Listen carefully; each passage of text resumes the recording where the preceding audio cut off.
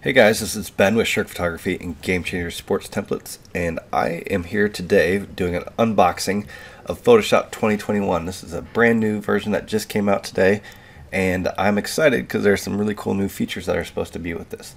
So the first thing I know that's coming with this is some new, well there's a whole new uh, tab up here, plugins, that I don't have any plugins, but uh, this will be your plugins panel here.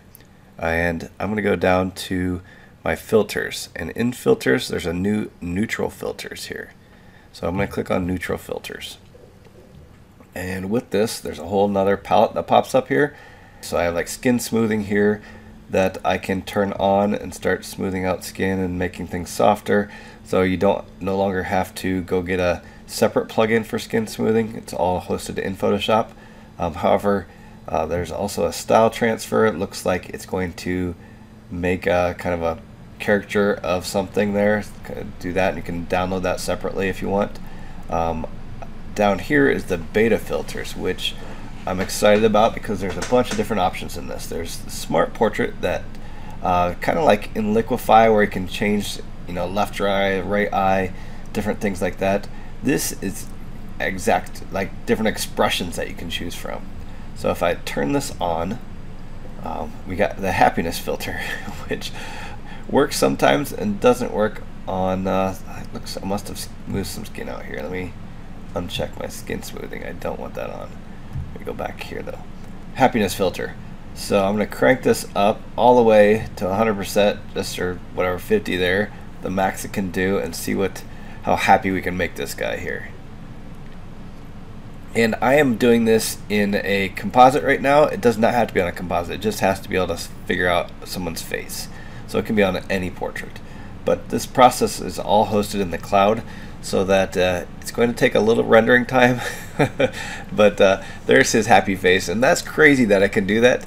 But uh, probably not 100% like that's a little bit uh, parents are gonna look at that and say oh what's what's going on here? But uh, uh, maybe maybe like a half you know half as much.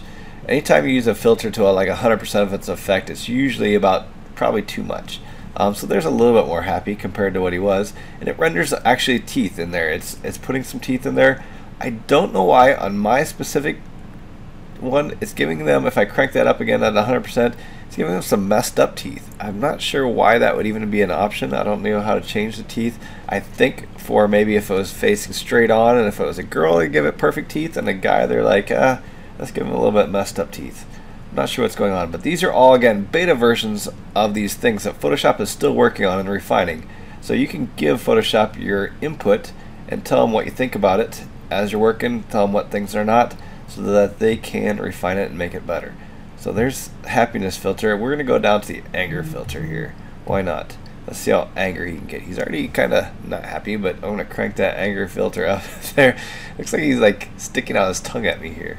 Um, so his eyes are eyes are great angry filter there, but his mouth, I'm not sure why it's opening the mouth on an angry filter. Um, but uh, um, we're going to go a little bit angry. Let's try surprise then. Why not? Crank it up. There, he's pretty surprised. What's the opposite of surprise here? Smug. Smug is the opposite of surprise there for him. Uh, so that's that's pretty funny. It does a pretty good job on those facial expressions, I think. I'm to age him up here and see how old he can look. And this is probably not something you're going to use very often in portraiture, but uh, um, you can certainly make someone look old. Maybe that's something for like an illustrative effect that you're doing, some kind of fun commercialized portrait or whatever that uh, you need someone older and can't find a subject. You can make them older with this facial age.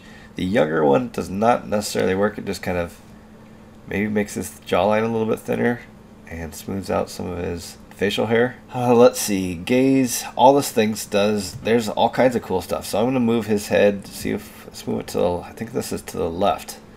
Right now it's a little bit to the right, so let's see what happens. That, that kind of works. I, his jawline looks good. Um, not necessarily his whole face, but you can see where if it has it has potential, it has potential for certain things that uh, could work. Uh, I'm probably not going to change the subject's face entirely, but if I need to replace a head and don't have one facing the exact same direction, maybe I can turn someone else's head a little bit and then replace, do a face swap. And, and occasionally you have to do that for like weddings and different stuff, but you don't have the perfect uh, face direction. This could maybe help that. Lighting direction also. The lighting direction on this one's going to be hard because it's such harsh highlights here. So maybe I'll try out a different one. But uh, you can there's all kinds. I don't even know what the mask settings is yet. Feathering, I'm assuming how far out uh, it's going to feather out here. And then I would say output, you want to change it to probably a duplicate layer with masks. It's probably a smart option. So that when it does render it, doesn't just de, de you know, ruin your whole image if it messes it up.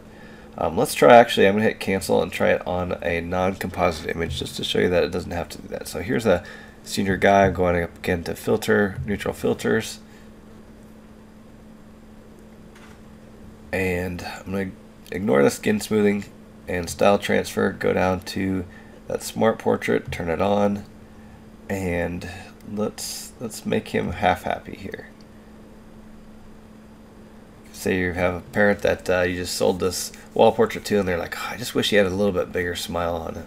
Say all right no problem. And you of course you could do that in the old photoshop photoshop 2020 and with liquify and, and move the corner of his mouth up um, but this is also like changing his eyes and his eyebrows and all that stuff so it's it's taking a lot of factors to make that happiness uh, really work there so it, it, made him definitely a little bit happier um, what's this angry face look like here? That's pretty dang good. Gave him a little more squelch, a little more angry. That's not bad at all. Um, gaze. Let's see what happens on the gaze here. We're gonna. I think it just gives him a little bit. Uh, oh, it changes his eye direction. That's. I did not know that did that. So his eyes moved. He's looking off here to gazing off in the distance. Is he gonna gaze down over here now? Yeah, it moves his eyeballs. That's crazy. Huh. That could certainly come in handy because that's that's happened to me before where I didn't notice the subject wasn't quite looking at me, or um, when I swap faces, the gaze is not right and I have to try to move eyeballs and stuff. So this could certainly work. Um, his hair is great thickness already. I need to find someone that's bald. Try that out. Um, light direction. Let's try this light direction. crank this so it lightened it up over here didn't really need lightened um, let's try the opposite opposite way maybe not all the way this lighting direction on this one there's not a whole lot of lighting direction on this. So there's mostly just straight on light from a I have a big window behind me in this image um, that's that's lighting him. So it's kind of flat lighting.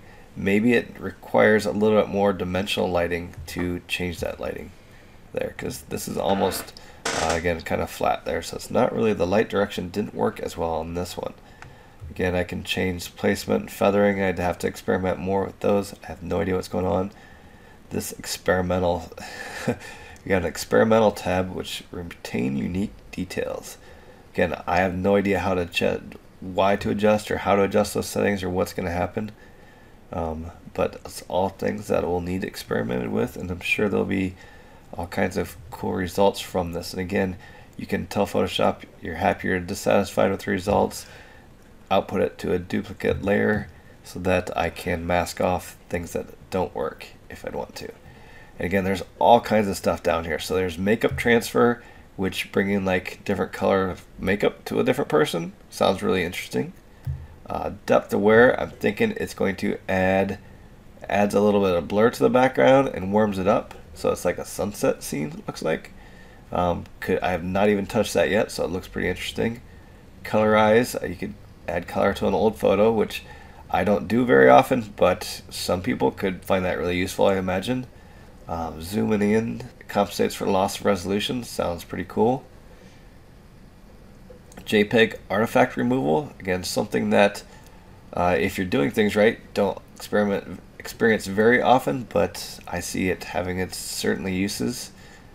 Photo restoration. Um, these are all things that um, that they're still developing looks like. And you just tell photoshop you're interested in it so that they know kind of get give a vote of what to work on next i suppose. So there's a bunch of different stuff that they are planning to come out with. Uh, that look pretty awesome.